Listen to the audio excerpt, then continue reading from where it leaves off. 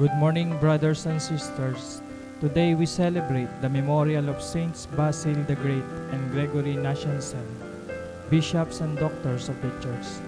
Our Mass presider is Reverend Father Alexander Balatbat.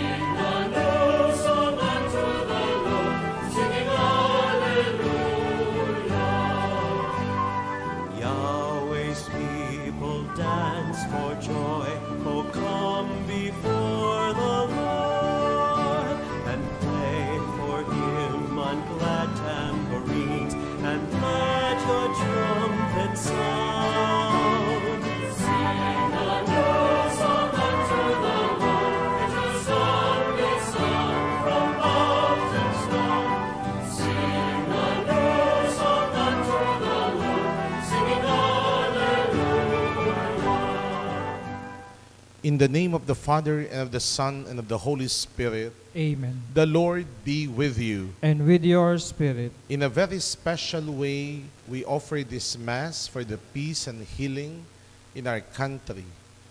We also pray for all the birthday celebrants today. We include in our prayer uh, Ombudsman Samuel Martires, who is celebrating his birthday today, and also for Danica Ikaranum. We also pray for all the sick. We pray for Elmer Santos, Nanay Vanji, Father Joey Valdez, Brother Bart, Norma Balatbat, Daisy Cruz. And we also pray for all the souls in purgatory. We include in our prayer Lucia Manalansan. To prepare ourselves to celebrate the sacred mystery, let us pause for a moment and ask the Lord for pardon and strength. God, our Creator, Lord, have mercy. Lord have mercy. God, our Savior, Christ, have mercy. Christ have mercy. God, our destiny, Lord, have mercy. Lord have mercy. May all loving God have mercy on us, forgive us our sins, and bring us to everlasting life. Amen. Let us pray. O God, who were pleased to give light to your church by the example and teaching of the bishops, Saints Ba- Basil and Gregory, grant, we pray, that in humility we may learn your truth and practice it faithfully in charity through our Lord Jesus Christ, your Son, who lives and reigns with you in the unity of the Holy Spirit, one God, forever and ever. Amen.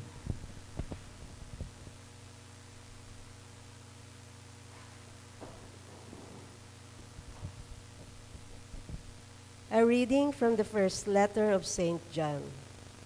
Beloved, who is the liar? Whoever denies that Jesus is the Christ. Whoever denies the Father and the Son, this is the Antichrist. Anyone who denies the Son does not have the Father, but whoever confesses the Son has the Father as well. Let what you heard from the beginning remain in you. If what you heard from the beginning remains in you, then you will remain in the Son and in the Father. And this is the promise that He made us eternal life.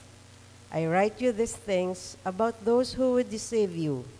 As for you, the anointing that you received from Him remains in you, so that you do not need anyone to teach you. But his anointing teaches you about everything and is true and not false. Just as it taught you, remain in him. And now, children, remain in him, so that when he appears, we may have confidence and not be put to shame by him at his coming. The word of the Lord. Thanks be to God. All the ends of the earth have seen the saving power of God. All the ends of the earth have seen the saving power of God. Sing to the Lord a new song, for he has done wondrous deeds. His right hand has won victory for him, his holy arm. All the ends of the earth have seen the saving power of God. The Lord has made his salvation known. In the sight of the nations, he has revealed his justice. He has remembered his kindness and his faithfulness toward the house of Israel. All the ends of the earth have seen the saving power of God. All the ends of the earth have seen the salvation by our God. Sing joyfully to the Lord, all you lands. Break into song, sing praise. All the ends of the earth have seen the saving power of God.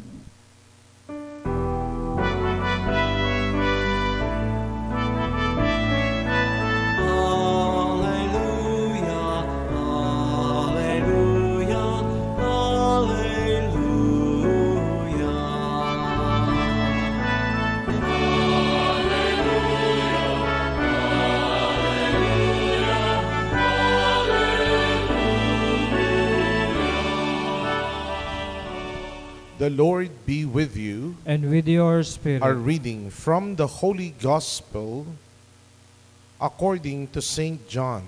Glory to you, O Lord.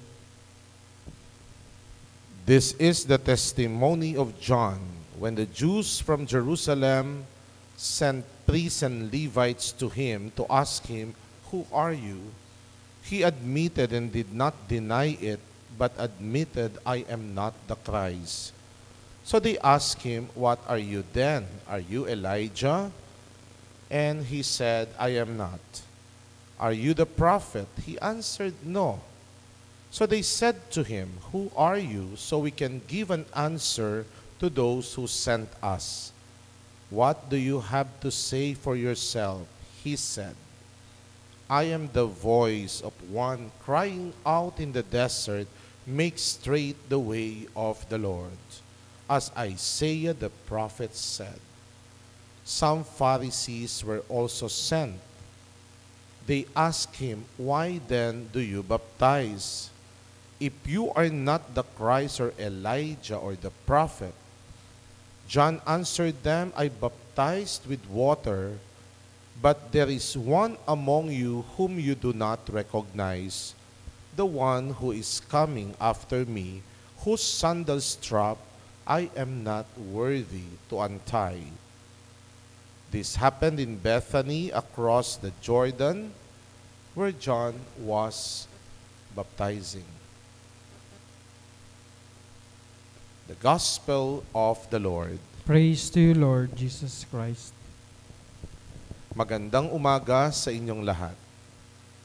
The second day of 2021. Happy New Year. Did you hear the message? The message of Christmas. Narinig mo ba ang tinig? John the Baptist proclaimed his identity. I am not the Christ. I am not one of the prophet. I am the voice of one crying out in the desert, make straight the way of the Lord. I am the voice. I am not the word. He is the voice. Who are you? A very significant question of our life. And if I will paraphrase it, ano ang dahilan bakit ka isinilang? Ano ang dahilan bakit ikay nabubuhay? Babalik at babalik pa rin sa tanong, sino ka? Ano ang iyong misyon? John the Baptist, it was very clear in himself, I am not the world. I am the voice. The voice crying out in the desert, make straight the way of the Lord. Sumisigaw ng pagkakapantay-pantay. Sumisigaw na ituwid ang daan. Mapanganib ang baku-bakong daan. Mapanganib ang liku-likong daraanan. Mapanganib din ang buhay na hindi pantay-pantay. Mapanganib ang liku-liko. The call of the voice from the desert make straight the way of the Lord. Upang may pagkakapantay-pantay na maganap, may babawasan, may dadagdagan. Ano ang babawasan? Ano ang dadagdagan? Ang Pasko, inaanyayahan tayong isabuhay ang pantay-pantay na buhay.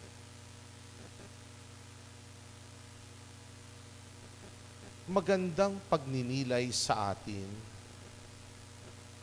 katulad ng pagkakasilang kay Juan na malinaw ang dahilan, balikan din natin ang dahilan bakit tayo isinilang.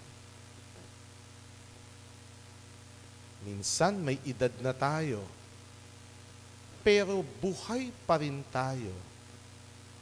Ano ang misyong dapat mabigyan ng kaganapan? Natatandaan ko nung April 4 last year, 50 na po ako. Alam kong dahilan bakit nabubuhay pa ako hanggang ngayon. Nabubuhay ako para maging pari. Nabubuhay ako para magmisa araw-araw, makinig ng kumpisal, dumalaw sa may sakit. Nabubuhay ako para makiisa sa paglalakbay ng sambayanan bilang isang pari. Magandang pagninilay din sa mga nagdiriwang ngayon ng kaarawan. Anong kaganapan ang dapat maganap sa ating buhay? Ang tawag nga doon, fundamental option. The purpose of our life. John is the voice. We priests are the bridge. Most probably you're also being called You are alive to stand for what is right. You are alive, most probably like John, to be the voice of the voiceless.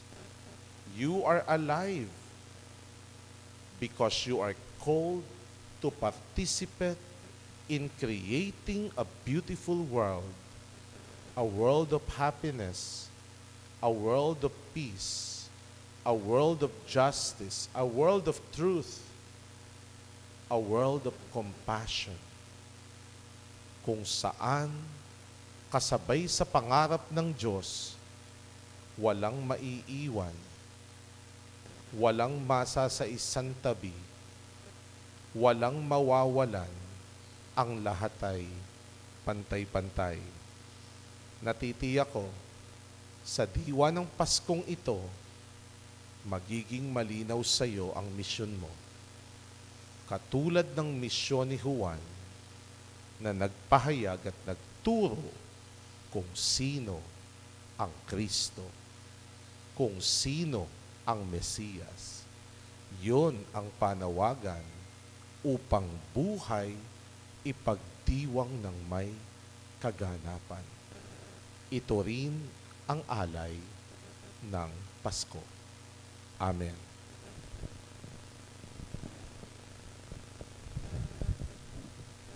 Saint John the Baptist considered himself unworthy of the work entrusted to him by God.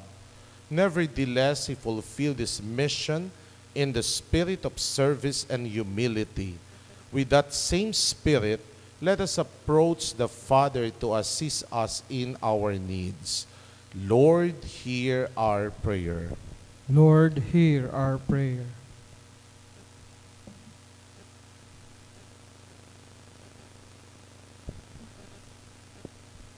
That the servants of the church may carry their task with humility and generosity. Let us pray to the Lord. Lord, Lord, hear our prayer. That civil authorities may have the sincere intention of working for the welfare of all citizens and seeking the common good instead of their own interest. Let us pray to the Lord. Lord, hear our prayer. That parents and teachers may inspire and encourage their children and students to persevere despite hardship and failure. Let us pray to the Lord. Lord, hear our prayer. That the sick may feel secure by our love and care. Let us pray to the Lord. Lord, hear our prayer. That the dead may find peace and happiness in the kingdom of God. Let us pray to the Lord. Lord, hear our prayer. We pray for the birthday celebrants, Ombudsman Samuel Martires, Danica Ikaranum. And we also pray for all the sick, Elmer Santos, Nanay Vanji, Norma Balatbat, Father Joey Valdez and Brother Bart.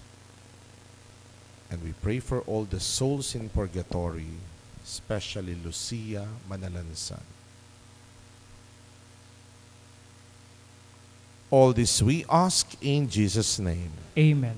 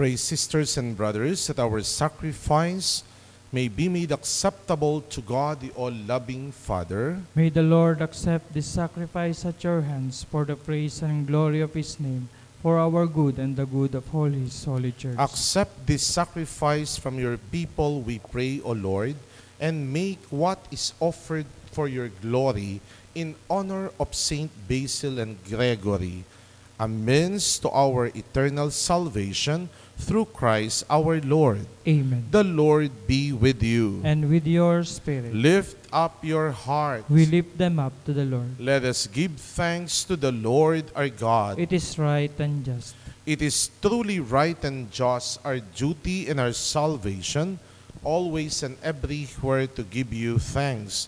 Lord, Holy Father, Almighty and eternal God, through Christ our Lord. For through him the holy exchange that restores our life has shone forth today in splendor when our frailty is assumed by your word not only does human mortality receive unending honor, but by this wondrous union, we too are made eternal. And so, in company with the choirs of angels, we praise you and with joy we proclaim. Holy, holy, holy Lord God of hosts, heaven and earth are full of your glory. Hosanna in the highest. Blessed is he who comes in the name of the Lord. Hosanna in the highest. You are indeed holy, O Lord, the fount of all holiness.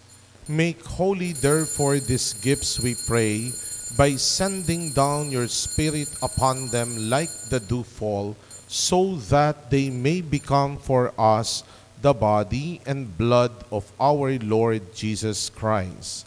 At the time he was betrayed and entered willingly into his passion, he took bread and giving thanks broke it, gave it to his disciples, saying, Take this, all of you, and eat of it, for this is my body, which will be given up for you.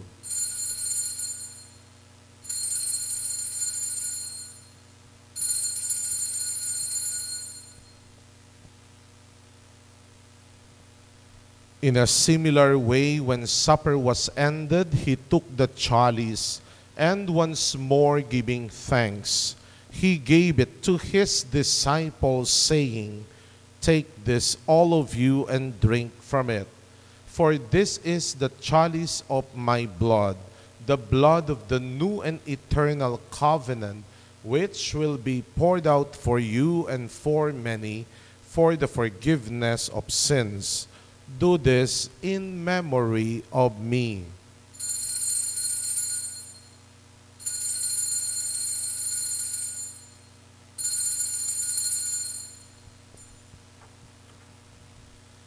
The mystery of faith. We proclaim your death, O Lord, and profess your resurrection until you come again.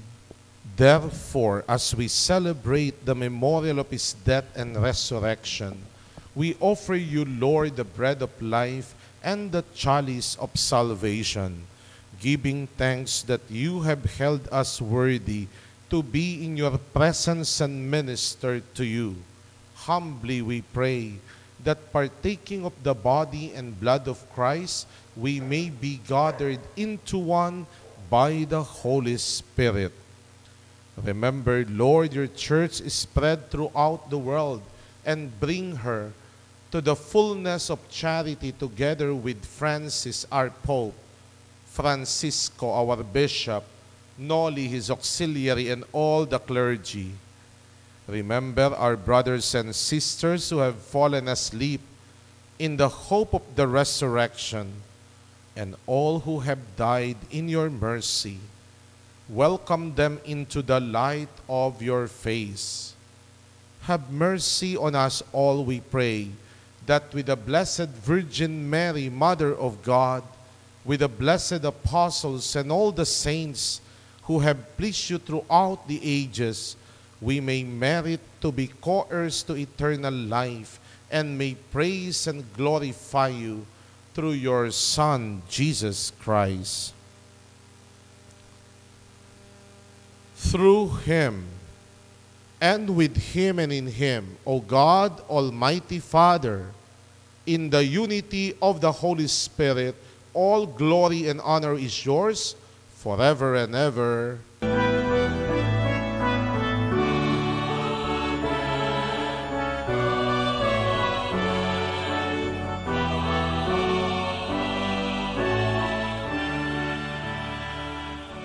At the Savior's command, informed by divine teaching, we dare to say,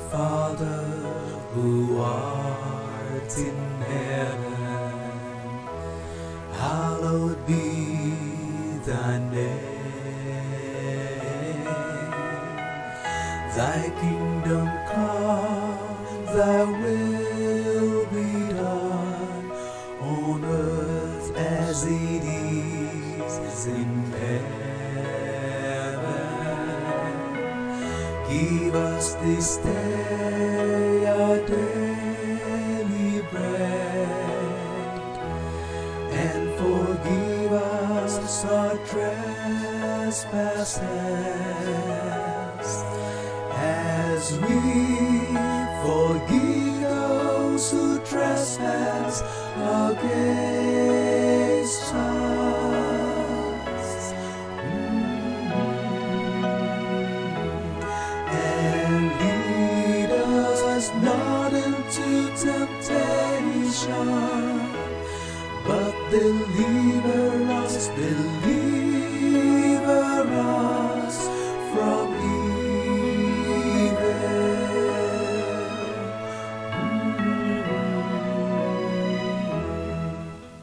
Deliver us, Lord, we pray, from every evil. Graciously grant peace in our days, that by the help of your mercy we may be always free from sin and safe from all distress as we await in joyful hope for the coming of our Savior, Jesus Christ. For the kingdom, the power, and the glory are yours, now and forever. Lord Jesus Christ, who said to your apostles, Peace I leave you, my peace I give you. Look not on our sins, but on the faith of the church, and graciously grant her peace and unity in accordance with your will, who live and reign forever and ever.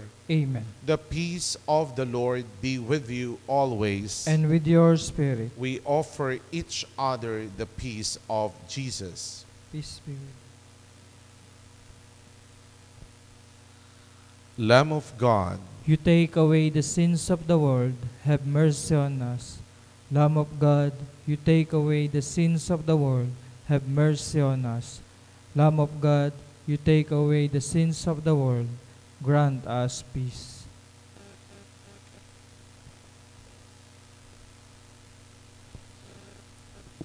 Behold Jesus, behold the Lamb of God who takes away the sins of the world. Happy are we who are going to partake in his sacred broken body. Lord, I am not worthy that you should enter under my roof, but only say the word, and my soul shall be healed.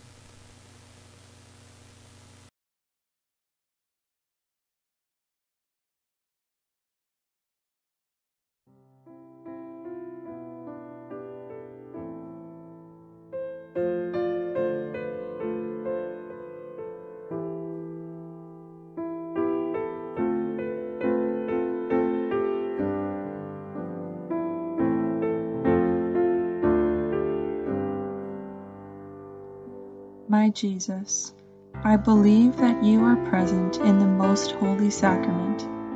I love you above all things, and I desire to receive you into my soul. Since I cannot at this moment receive you sacramentally, come at least spiritually into my heart.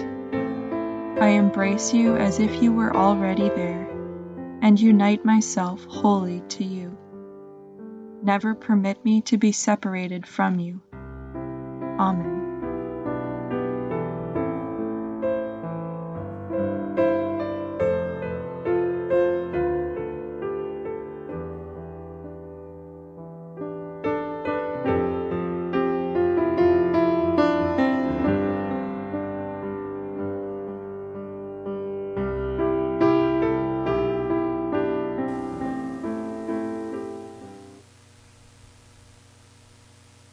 Let us pray. May partaking of the heavenly table, Almighty God, confirm and increase strength from on high in all who celebrate the feast day of Saints Basil and Gregory, that we may preserve in integrity the gift of faith and walk in the path of salvation you trace for us through Christ our Lord. Amen. Hail Mary, full of grace, the Lord is with you. Blessed are you among women, and blessed is the fruit of your womb, Jesus. Holy Mary, Mother of God, pray for us sinners, now and the hour of our death. Amen. Most Sacred Heart of Jesus, have mercy on us. Immaculate Heart of Mary, Pray for us. Saint Joseph. Pray for us. We pray the Rosary every day for the peace in our country and the whole world. The Lord be with you. and with your spirit. May all loving God bless you, the Father, the Son, and the Holy Spirit. Amen. God loves you, Mama Mary loves you. Our celebration is ended. Go in peace. Thanks be to God.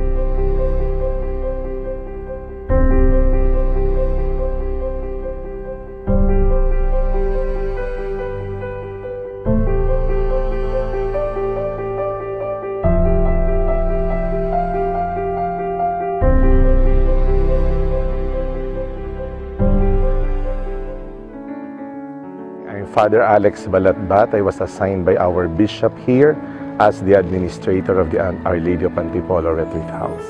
The Our Lady of Antipolo Retreat House is located inside the St. Michael compound, St. Michael Retreat House, San Jose Extension, San Isidro, Antipolo City.